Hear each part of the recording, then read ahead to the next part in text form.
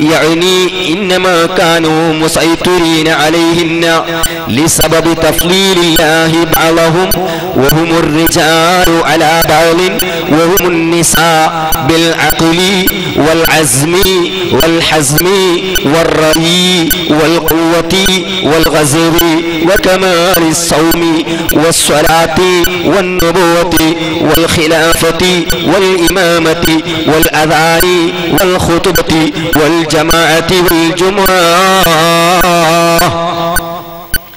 ഇമാം നസഫി റഹ്മത്തുള്ളാഹി അലൈഹി ഈ ആയത്തിന്റെ തഫ്സീറിൽ പറഞ്ഞു ആണുങ്ങൾക്കുള്ള പ്രത്യേകത എന്താണ് ആ കൂട്ടത്തിൽ ജുമഅക്ക് പോകുന്നതും ജമാഅത്തിലേക്ക് പള്ളിക്ക് പോകുന്നതും അത് ആണിന്റെ പ്രത്യേകതയാണ് അത് പെണ്ണിന്റെ സ്ഥാനമല്ല അത് പെണ്ണിന്റെ പണിയല്ല അത് പെണ്ണിന്റെ ജോലിയല്ല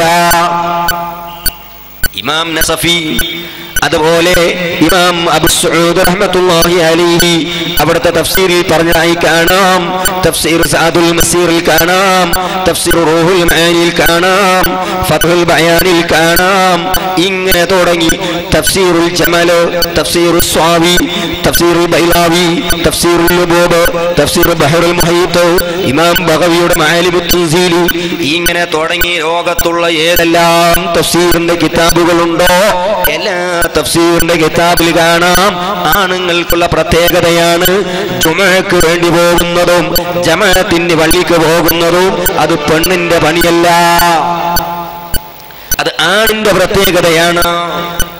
സുബാനല്ല ഈ മുഫസ്സിറുകൾക്കൊന്നും ഖുർആൻ തിരിയാത്തവരാ?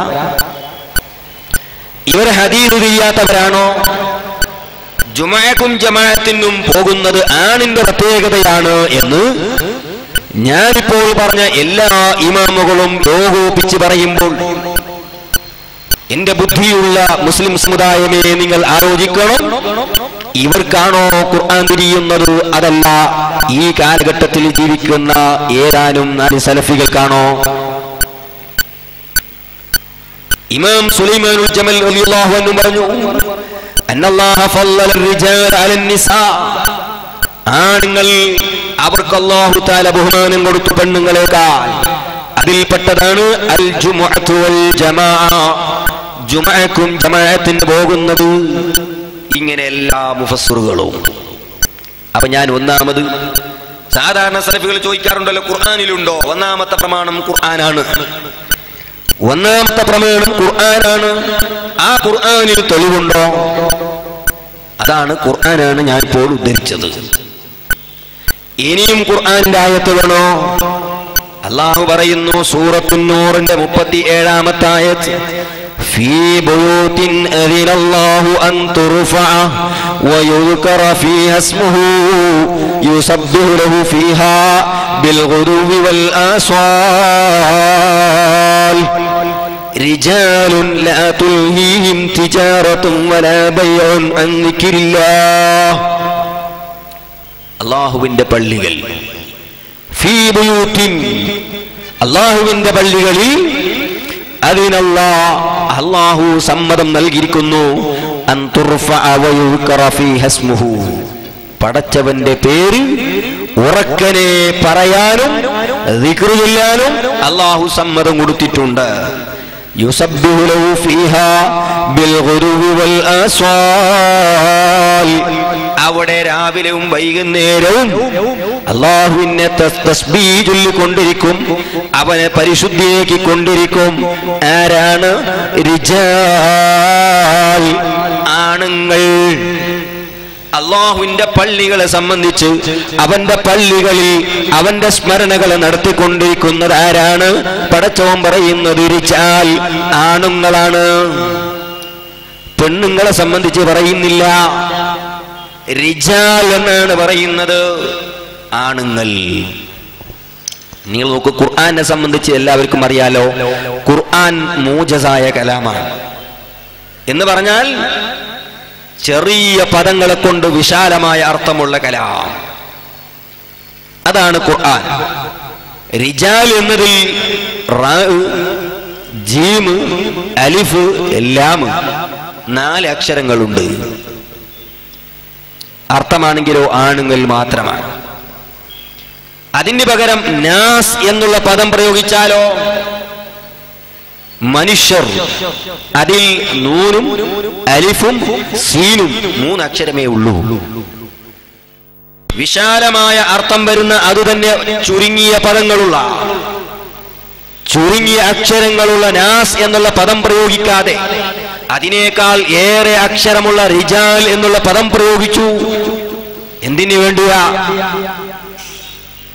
അത് വിശദീകരിച്ചുകൊണ്ട് പണ്ഡിതന്മാർ പറഞ്ഞു എന്തുകൊണ്ട് ഇവിടെ ആണുങ്ങളെ മാത്രം പറഞ്ഞു പെണ്ണുങ്ങളെ സംബന്ധിച്ച് പരാമർശിച്ചില്ല? പള്ളി പടച്ചവന്റെ പള്ളിയിൽ ആണുങ്ങൾ എന്ന് എന്തേ അള്ളാഹു പറഞ്ഞു?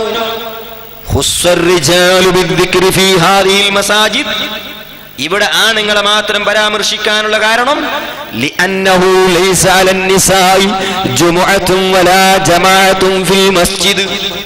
ഇമാം ബഗവി റഹ്മത്തുള്ളാഹി അലൈഹി അവിടുത്തെ മാലിമുത്തൻസീൽ തൻസീൽ പറഞ്ഞു ഇവിടെ റിജാൽ എന്ന് ആണുങ്ങളെ മാത്രം എടുത്തു പറയാനുള്ള കാരണം പെണ്ണുങ്ങൾക്ക് പള്ളിയിലേക്ക് നിസ്കാരത്തിനോ ജുമഴക്കോ പോകുന്ന ഏർപ്പാടില്ലല്ലോ.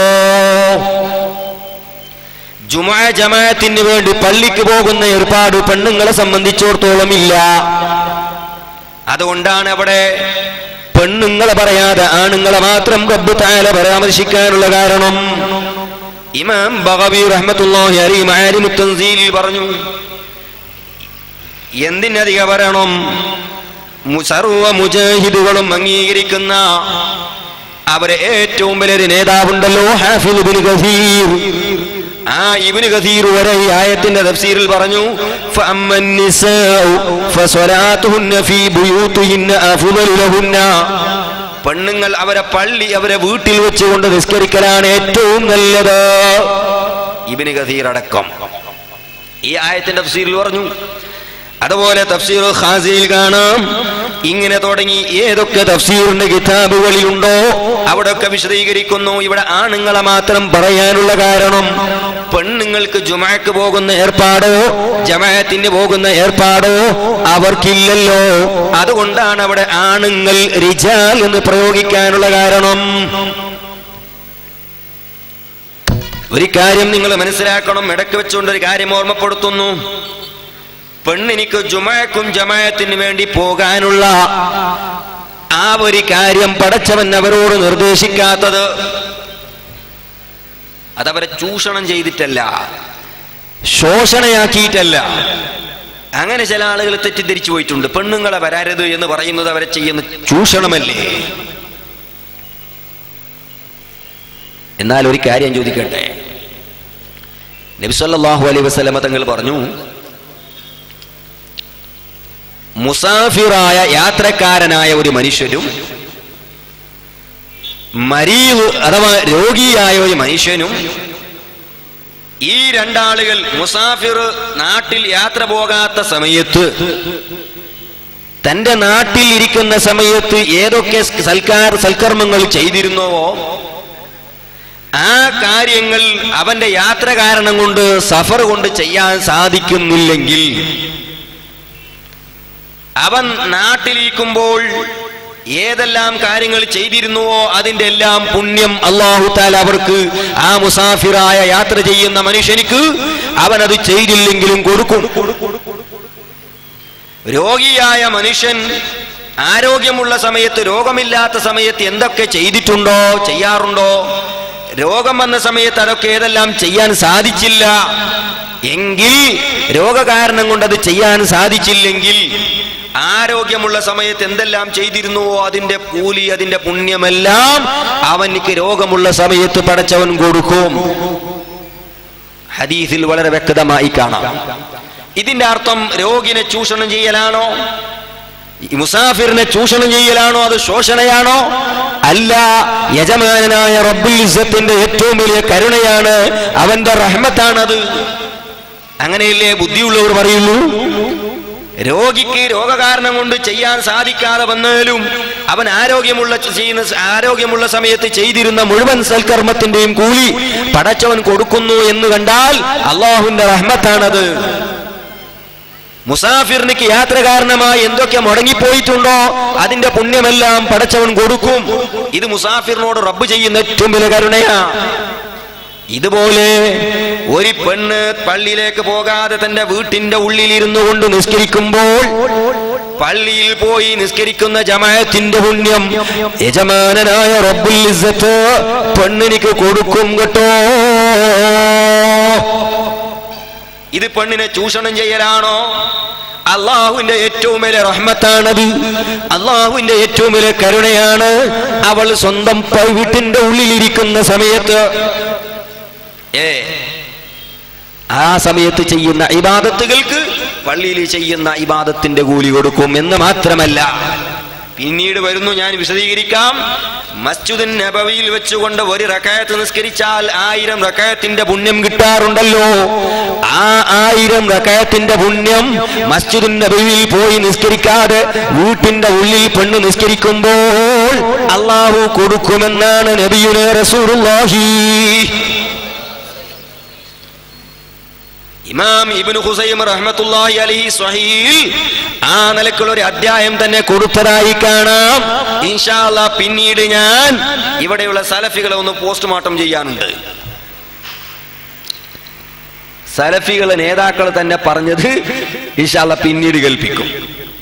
ഇതൊക്കെ നമ്മൾ ഏ നിഷ്പക്ഷമായി ചിന്തിക്കുന്ന ആളുകൾക്ക് പറയ പിന്നെ ഓർമ്മപ്പെടുത്താനാ. ഇനി സലഫികൾക്ക് ഇതൊന്നും അവർക്ക് അംഗീകാരമല്ല. പിന്നെ അവർക്ക് അംഗീകരിക്കുന്ന ചില കാര്യങ്ങൾ അംഗീകരിക്കാൻ പറ്റുന്ന ചില കാര്യങ്ങൾ ഇൻഷാല്ല ഞാൻ പിന്നീട് പറയും. അതുവരെ ഒന്ന് ക്ഷമിച്ചു ഒന്ന് നിന്നാ നല്ലതാണ്. ഏ. അപ്പൊ ഓർമ്മപ്പെടുത്തുന്നത് ഇത് പെണ്ണുങ്ങളെ ചൂഷണം ചെയ്യലല്ല. അങ്ങനെയാണെങ്കിൽ രോഗിനെ ചൂഷണം ചെയ്തു മുസാഫിറിനെ ചൂഷണം ചെയ്തു എന്ന് പറയേണ്ടി വരും.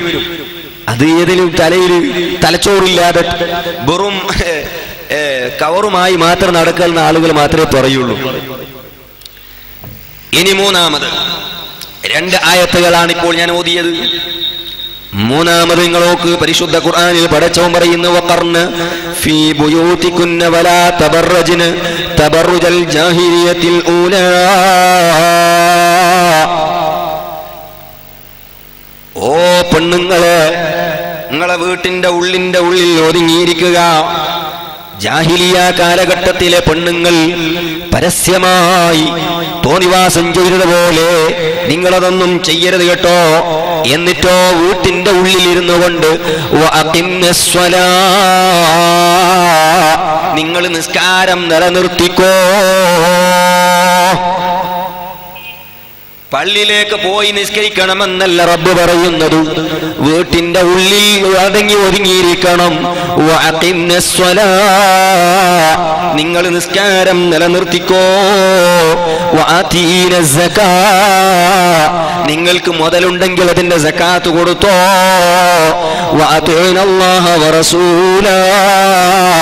അള്ളാഹുവിനെയും അവന്റെ റസൂലിനെയും അനുസരിച്ച് ജീവിച്ചോ. സൂറത്തുൽ അഹ്സാബിന്റെ മുപ്പത്തിമൂന്നാമത്തെ ആയത്താണ് وقرن في بيوتكن ولا تبرجن تبرج الجاهلية الأولى വീട്ടിന്റെ ഉള്ളിന്റെ ഉള്ളിൽ അടങ്ങി ഒതുങ്ങിയിരിക്കണമെന്ന് അള്ളാഹു താര നിർദ്ദേശിക്കുന്ന സമയത്ത് ഈ ആയത്ത് വിശദീകരിച്ചുകൊണ്ട് നിങ്ങൾ ആലോചിക്കണം. പെണ്ണുങ്ങളെ നിസ്കാരത്തിന്റെ പേരിൽ വളരെ മർക്കടമുഷ്ടിയോടെ വീട്ടിൽ നിന്ന് വലിച്ചു കൊണ്ടുപോകുന്നവരില്ലേ? പള്ളിയിലേക്ക് വലിച്ചു കൊണ്ടുപോകുന്നവരില്ലേ? നിങ്ങളൊന്ന് ആലോചിക്കൂ. ബഹുമാനപ്പെട്ട സല്ലല്ലാഹു വസല്ലമ തങ്ങളുടെ പ്രിയപ്പെട്ട ഭാര്യ സൗദ റളിയല്ലാഹു അൻഹാ ഇമാം സുയൂത്തി റഹ്മത്തുള്ളാഹി ഈ ആയത്തിന്റെ തഫ്സീറിൽ അവിടുത്തെ അദ്ദുറുൽ മൻസൂർ എന്ന കിതാബിൽ ഇമാം സുയൂത്തി റഹ്മത്തുള്ളാഹി അലൈഹി ഈ തഫ്സീറിന്റെ ഈ ആയത്തിന്റെ തഫ്സീറിൽ അവിടുന്ന് പറയുന്നു ബഹുമാനപ്പെട്ട സൗദർ അലിയല്ലാഹുവിനോട് ചില പെണ്ണുങ്ങൾ വന്നു ചോദിക്കുന്നു മാലക്കി ലാ വലാ എന്തേ സൗദ നിങ്ങൾ ഹജ്ജ് ചെയ്യുന്നില്ലയോ? ഉംറ ചെയ്യുന്നില്ലയോ? കമാ തഫ്അലു അഖവാതുകി നിങ്ങളുടെ നിങ്ങളുടെ ചങ്ങായിമാർ നിങ്ങളുടെ സ്നേഹിതന്മാർ നിങ്ങൾക്കുള്ള സഹോദരിമാർ ചെയ്യുന്നത് പോലെ നിങ്ങൾക്കൊന്ന് സുന്നത്തായ ഹജ്ജും ഉംറയും ചെയ്തുകൂടെ. ഫർലായ ഹജ്ജിനെ സംബന്ധിച്ചില്ല സുന്നത്തായ ഹജ്ജിനെ അതുപോലെ ഫർലായ ഉംറനെ സംബന്ധിച്ചല്ല സുന്നത്തായ ഹജ്ജിനെയും ഉംറനെയും സംബന്ധിച്ച് സൗദർ അലി ചോദിക്കുന്ന സമയത്ത് സൗദർ അലി പറഞ്ഞ മറുപടി എന്റെ ഉമ്മമാരെ സഹോദരിമാരെ നെഞ്ചത്ത് കൈവച്ചുകൊണ്ട് നിങ്ങൾ ചിന്തിക്കണം. അള്ളാഹുവിന്റെ റസൂലിന്റെ പ്രിയപ്പെട്ട ഭാര്യ സൗദർ അലി അള്ളാഹുവിന് പറയുന്ന ഉത്തരം എന്താണ് കത് ഹജജിത്തു നിർബന്ധമായ ഫറലായ ഹജ്ജ് ഞാൻ ചെയ്തിരിക്കുന്നു. നിർബന്ധമായ ഉമ്ര ചെയ്തിരിക്കുന്നു. അമറനില്ല അതേ പടച്ചവൻ എന്നോട് കൽപ്പിച്ചിട്ടുണ്ട്. അൻ അഖിറ ഫീ ബൈതി. എന്റെ വീട്ടിന്റെ ഉള്ളിൽ അടങ്ങി ഒതുങ്ങിയിരിക്കാനാണ് റബ്ബ് എന്നോട് കൽപ്പിച്ചത്.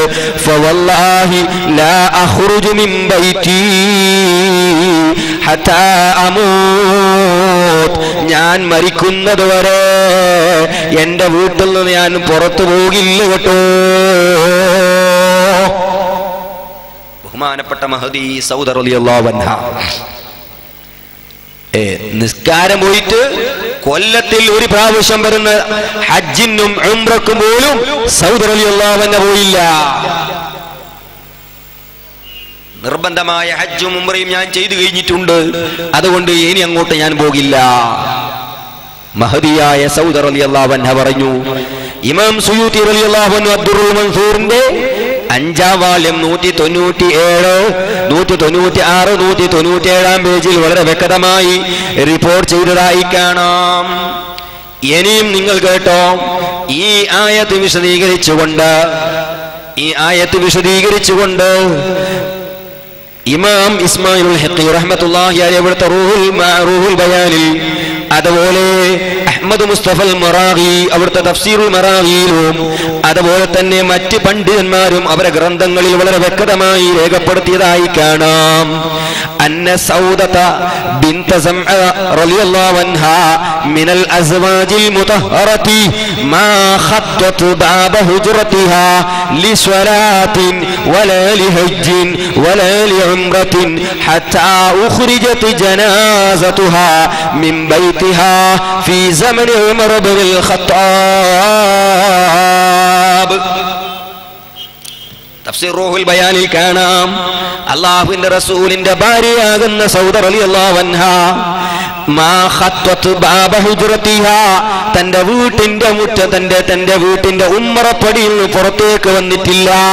ലിസ്വലാത്തിൻ നിസ്കാരത്തിന് വേണ്ടിട്ടോ വലാലി ഹജ്ജിൻ ഹജ്ജിന് വേണ്ടിട്ടോ വലാലി ഉംറത്തിൻ ഉംറക്ക് വേണ്ടിട്ടോ മഹതിയാകുന്ന സൗദർ അലി അൻഹ തന്റെ വീട്ടിന്റെ ഉമ്മറപ്പടിയിൽ നിന്ന് അങ്ങോട്ട് പുറത്തേക്ക് വന്നിട്ടില്ല. ഹത്താ ജനാസതുഹാ മിൻ ഫീ സമയി ഉമർ ഇബ്നുൽ ഖത്താബ് ബഹുമാനപ്പെട്ട ഉമർ റളിയല്ലാഹുവിന്റെ കാലഘട്ടത്തിൽ സൗദർ റളിയല്ലാഹുവിന്റെ വഫാത്തായി അവിടുത്തെ ജനാസയെ പുറത്തേക്ക് കൊണ്ടുവരുന്നതുവരെ നിസ്കാരത്തിനോ ഹജ്ജിനോ ഉംറക്കോ സൗദർ റളിയല്ലാഹുവിന് തന്റെ വീട്ടിന്റെ ഉമ്മറപ്പടി ചവിട്ടി പുറത്തേക്ക് പോയിട്ടില്ല. എന്നിട്ടാണോ പെണ്ണുങ്ങളെ പള്ളിക്ക് കൊണ്ടുപോകേണ്ടത്?